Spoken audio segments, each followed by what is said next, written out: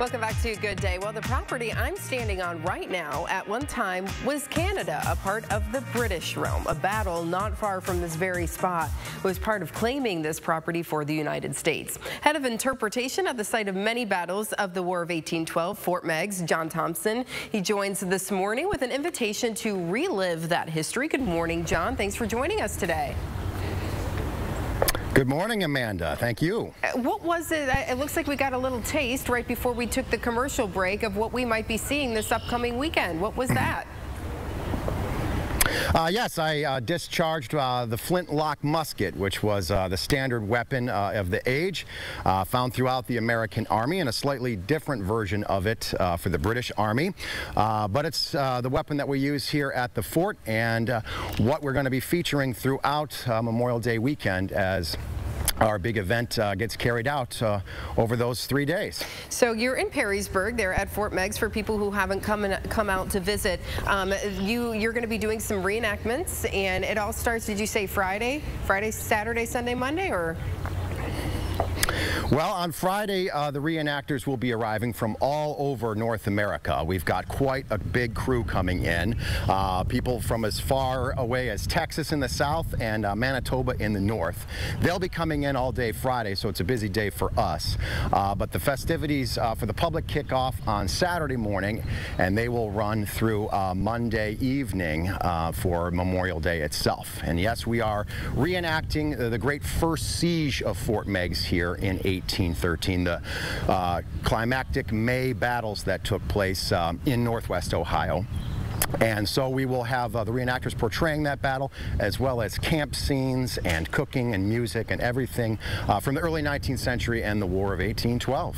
And on Memorial Day itself um, will be a special day as well, right? Yes, Memorial Day uh, is something that we uh, honor uh, every year out here. Uh, Fort Meigs is a military cemetery uh, for the veterans who died here during the War of 1812, and they are still here uh, in 2023. So we do have a formal wreath-laying ceremony out here at three of our monuments, and we parade with the public to these various points on our property to honor those fallen, and speeches, poetry, uh, shots uh, in commemoration of uh, the fallen. It's a beautiful ceremony, and I really encourage anyone to come out and celebrate Memorial Day with us. Uh, John, talk a little bit about why it is so important that that history there is preserved and that um, you relive that too and reenact that to, to show these younger generations.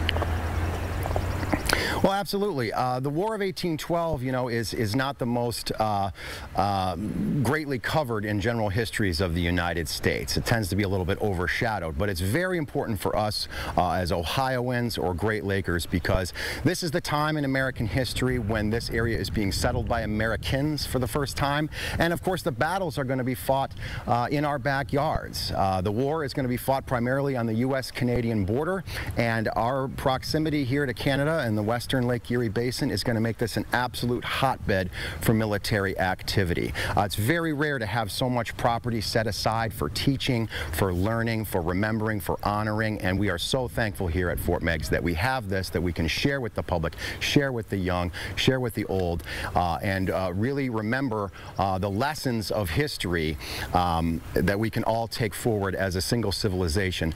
Take those lessons forward uh, to a healthy place in the future. Oh, wonderful. So uh, take, walk me through again what uh, the demonstration you did right before the commercial break. Uh, let's see it again. Walk me through um, because obviously, you know, to use that weapon, um, it's maybe a bit cumbersome, huh? Yeah, there's actually 12 different steps for loading the flintlock. Uh, first, you have to open uh, the flash pan here and reach inside the cartridge box on my right side and pull out a pre-wrapped paper cartridge, which I have here.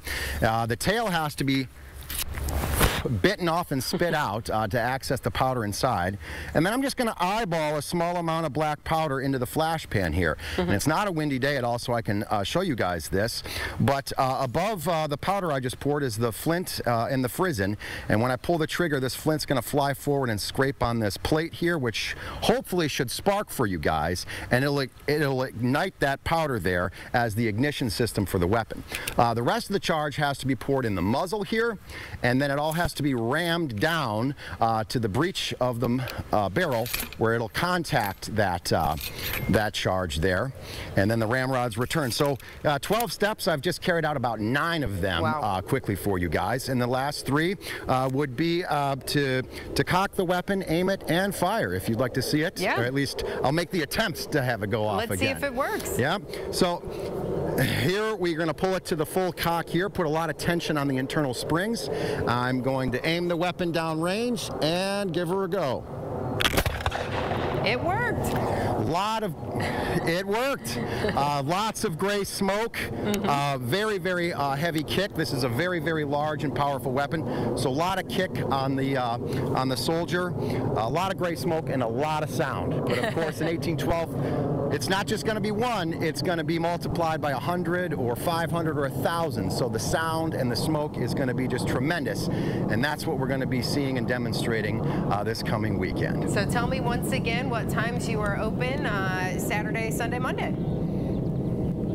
Yep, uh, Saturday uh, morning, everything kicks off. 9:30, the gates will open to the fort. Um, we're going to have demonstrations throughout the day. Uh, we do close at five. Same schedule on Sunday. Show up early if you'd like. The battle's going to be a little bit earlier in the afternoon on Sunday, and then Monday, being a holiday, uh, the doors don't open until 12 noon. Uh, but we will be here still demonstrating throughout the day and honoring our fallen heroes. Well, John, thank you so much for joining us this morning. Again, Fort Meigs there in Perrysburg. Come on out, bring the family for the holiday weekend. Thank you so much for joining us this morning.